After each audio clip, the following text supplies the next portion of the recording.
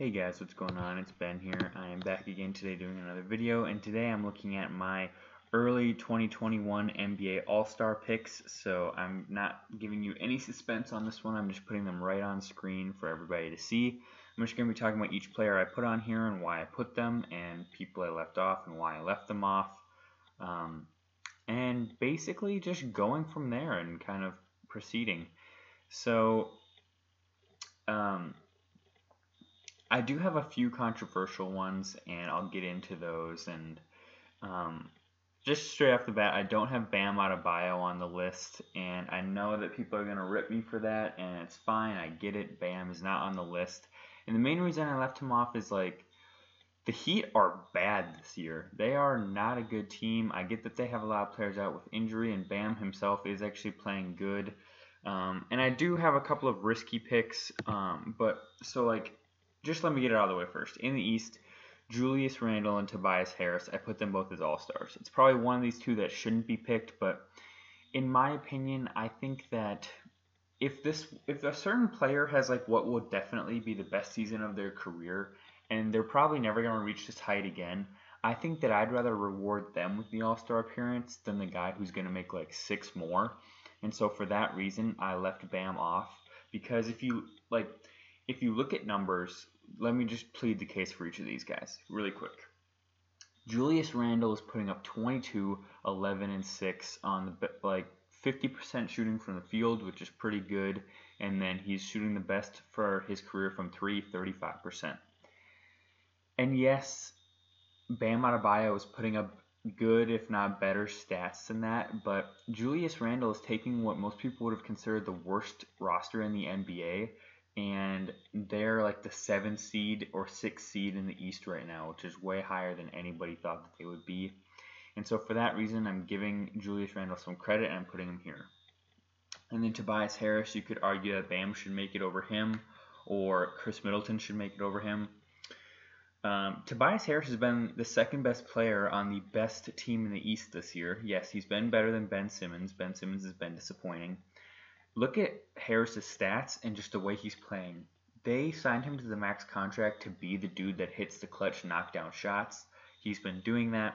He's shooting like 52% from the field and like 41% from three, which is amazing as far as efficiency goes. He's putting up 20 points and seven rebounds a game and like four assists. And overall, I think he's just basically I gave him this all-star appearance, much like how Khris Middleton's made the last two. He's not like the best player on his team, but he's like his team wouldn't be nearly as good as they are without him. So Tobias Harris is on here. So I covered those two guys at the beginning just because I feel like I wanted to get the snubs out of the way.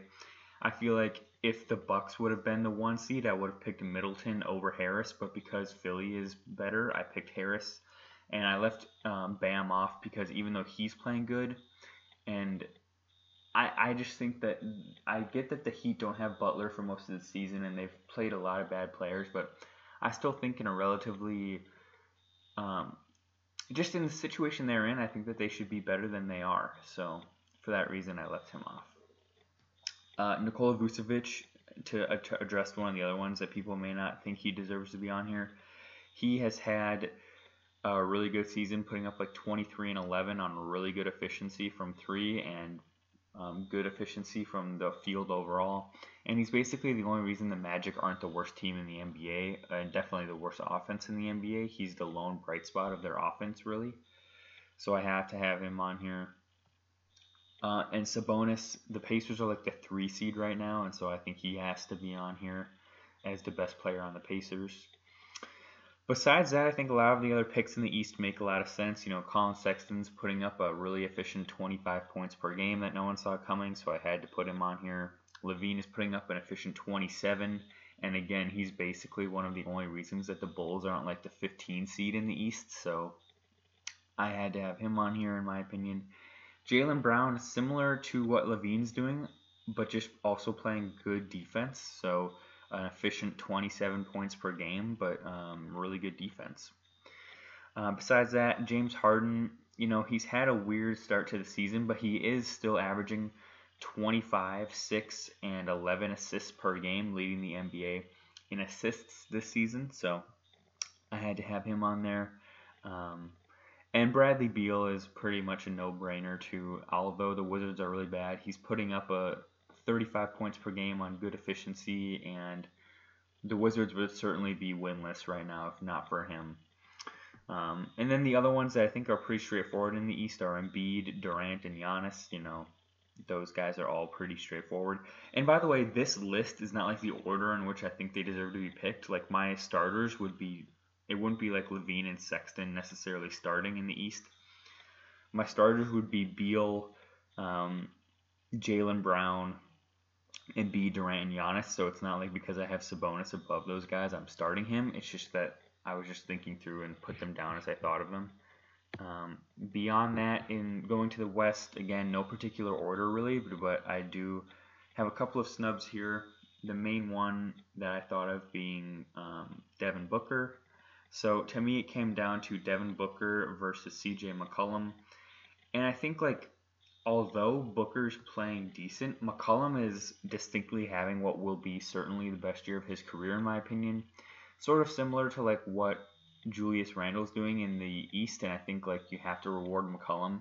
He's putting up a really efficient 26 points per game, a career high in assists at 20, at um, five per game, and you could make the argument when he's been playing this year, he's been the better player than Lillard on the Blazers. You could make the argument.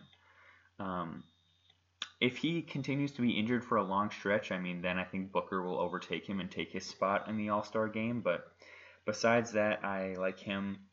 The other oddity on the list, some people might think, is Christian Wood.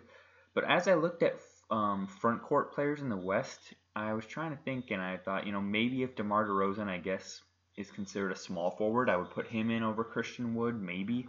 But even so, I think Christian Wood has arguably been the best player on the Rockets all year and a big contributor to why they've had whatever level of at least close to 500 basketball they've been playing it can largely be attributed to Christian Wood. So I put him in as sort of the dude who made it that nobody would think about him, sort of like how last year Bam made it and nobody thought about Bam, but yeah, I got Christian Wood. And then a lot of these are people you would kind of expect because of their record. I have two All Stars for the Jazz, Gobert and Mitchell. Mitchell's played great this year, same with Gobert. And then a lot of the dudes who are pretty much automatic locks every year if they're healthy and playing at their normal level. Lillard, Curry, Doncic, LeBron, Kawhi, um, uh, Jokic, AD, and then PG of course makes it because he's having a really good year and a really bounce back year. So the West is a lot less exciting, I guess I'd say, in that like there's there aren't nearly as many like surprise picks as the East, but that's just because the West has so much more talent in it that it's much more straightforward to pick the All Stars there, and it's hard to have many snubs because like yes, Devin Booker is worthy of an All Star appearance, but like are you gonna put him in over Curry? No. Are you gonna put him in over Doncic? No. Are you gonna put him in over like McCollum is really to me the only one that you could argue should be kicked out for um, Devin Booker, but also the Suns aren't playing as good as a lot of people thought that they would. So for that reason, I felt fine leaving Devin Booker off. And ultimately, there's just a lot of talented dudes, and some people aren't going to make it every year. Damian Lillard had a season where he averaged like 28 per game and wasn't an All Star for a couple, like two years straight. So it just happens sometimes. Bradley Beal averaged like 31 points per game last year and didn't make the All Star game. It just happens. So that's all I got for today, guys. Um, just wanted to run through my early All Star picks for the NBA this year, and I'll see you guys next time. Bye.